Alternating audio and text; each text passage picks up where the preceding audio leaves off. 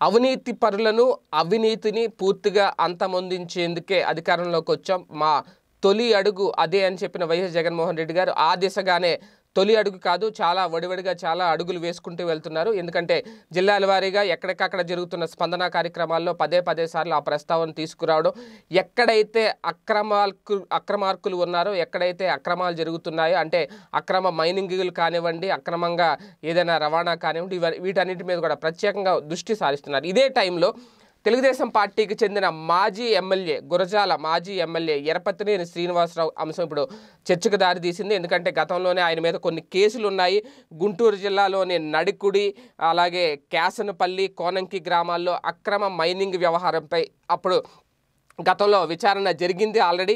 అయితే పంతొమ్మిది వందల తొంభై నాలుగు అలాగే రెండు వేల తొమ్మిది రెండు వేల పద్నాలుగు అసెంబ్లీ ఎన్నికల్లో గురజాల నియోజకవర్గం నుంచి ఆయన మూడు సార్లు ఎమ్మెల్యేగా ఎన్నికయ్యారు. అయితే రెండు వేల పద్నాలుగు ఎన్నికల్లో టీడీపీ అధికారంలో ఉన్నప్పుడు ఆయన పెద్ద ఎత్తున అక్రమ మైనింగ్కి పాల్పడ్డారంటూ ఆయనపై ఆరోపణలు కూడా వచ్చాయి. అయితే రెండు వేల పంతొమ్మిది ఎన్నికల్లో ఆయన పోటీ చేసి ఓటమి పాలైంది.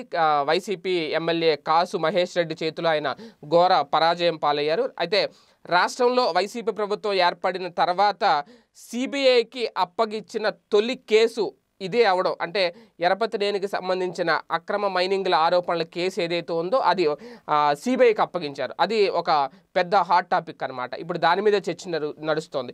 అయితే సిబిఐకి అప్పగించిన తర్వాత ఇందులో ఎంతవరకు అవినీతి జరిగింది ఏంటి ఇవన్నీ కూడా విషయాలన్నీ బయటకు వచ్చే అవకాశం ఉంటుంది. అయితే ఈ మాజీ ఎమ్మెల్యే కేసు ఏదైతే ఉందో మూడు నెలల కిందటే సిబిఐకి అప్పగించాలని చూసి చూశారు ప్రయత్నం చేశారు అప్పటికే. కాకపోతే ఎరపతినేని అప్పట్లో అందుబాటులో లేరు. ఆయన అజ్ఞాతంలో ఉన్నారని తెలిసింది. తర్వాత ఆయన అజ్ఞానం వీడు బయటకు వచ్చారు అజ్ఞాతంలోంచి బయటకు వచ్చారు బయటకు వచ్చిన తర్వాత ఇప్పుడు ప్రస్తుతం ఆయన మామూలుగానే ఉన్నారు. ఈ టైంలో ఏపీ మంత్రివర్గం మూడు నెలల పాటు ఈ ఈ కేసుని సిబిఐకి అప్పగించడం జరిగింది.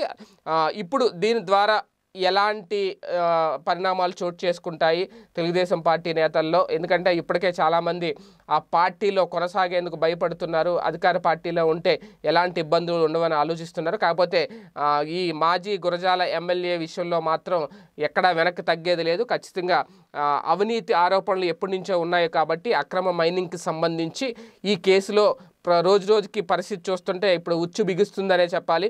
సిబిఐ ఎలాంటి ఆధారాలు సేకరించి ఎలాంటి రిపోర్ట్ ఇస్తుంది దానికి సంబంధించి ఈయన మీద ఎలాంటి కేసులు నమోదవుతాయి. ఖచ్చితంగా ఒకవేళ ఇది ఆరోపణలు గనక నిజమైతే గనక అక్రమ మైనింగ్ జరిగింది అనే ఆరోపణలు నిజమైతే గనక ఎరపతినేని శ్రీనివాసరావుని జైలుకు పంపిస్తారా? ఇదే గనక జరిగితే ఒక ఫస్ట్ ఒక టీడీపీకి చెందిన ఒక మాజీ ఎమ్మెల్యేని మొట్టమొదటిగా కేసుని మొట్టమొదటిగా సిబిఐకి అప్పగించి జైలుకు పంపించారనే చరిత్ర కూడా ఉంటుంది. ప్రస్తుతం సోషల్ మీడియాలో ఇదే నడుస్తోంది. ఆయన్ని త్వరలోనే ఆయన మీద ఒక నిర్ణయం వెలువడే అవకాశం ఉంటుంది సిబిఐ ఎంక్వైరీ తర్వాత. అందుకే ఈ నేపథ్యంలోనే జగన్ గారు ఒక గట్టి షాక్ ఇచ్చారు టీడీపీ ఎమ్మెల్యేకి అనేది సోషల్ మీడియాలో వైరల్ అవుతున్న అంశం. చూద్దాం మరి ఎరపత్రిన కేసు విషయంలో ఏం జరుగుతుంది సిబిఐ ఏం చెప్తుంది అనేది విచారణ తర్వాత చూడాలి. స్టేట్ మీరెక్కడున్నా ఏం చేస్తున్నా ప్రపంచంలో ఏం జరుగుతుందనేది ఇప్పుడు మీకు పెట్లోకి తెచ్చేసింది one line app. Political movies రాశి ఫలాలు ఆరోగ్య సలహాలు సీరియల్స్ విశేషాలు. ఇలా ఒకటేమిటి? బోలెడన్ని విశేషాలను మినిట్ టు మినిట్ మీకు అందిస్తుంది one line app. So late ఎందుకు? డిస్క్రిప్షన్లో ఉన్న లింక్ ద్వారా వన్ లైన్ యాప్ డౌన్లోడ్ చేసుకోండి. One line it's for every